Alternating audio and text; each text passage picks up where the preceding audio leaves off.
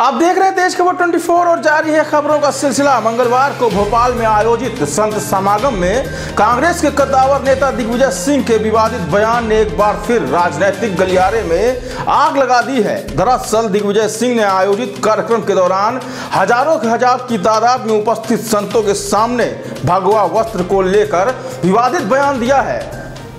उन्होंने कहा कि भगवा वस्त्र पहनकर लोग चूरन बेच रहे हैं। भगवा वस्त्र पहनकर बलात्कार हो रहे हैं। मंदिरों में बलात्कार हो रहे हैं। क्या यही हमारा धर्म है? हमारे सनातन धर्म को जिन लोगों ने बदनाम किया है, उन्हें ईश्वर भी माफ़ नहीं करेगा। भगवा वस्त्र पहनकर लोग चूरन बेच रहे भगवा वस्त्र पहनकर बलात्कार हो रहे हैं। मंदिरों में बलात्कार हो रहे हैं। क्या यही है। हमारा धर्म हमारे सनातन धर्म को जिन लोगों ने बदनाम किया है, उन्हें ईश्वर की माफ़ नहीं करेगा।